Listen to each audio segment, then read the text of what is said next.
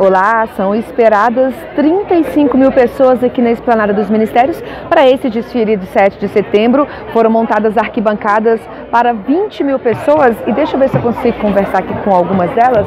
Olá, tudo bem? Tudo bom. Você pode falar com a gente? Qual o seu nome? Gilberto. Gilberto, você veio de Pernambuco? E aí, você trouxe a família? É a primeira vez que você assiste a um desfile? Não, já vim outras vezes.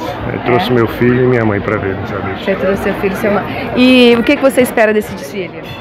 O desfile das Forças Armadas é sempre muito bonito, né? muito organizado. E saudar a pátria, o novo presidente. Então, todo um significado novo nessa, nesse 7 de setembro. Um novo Brasil.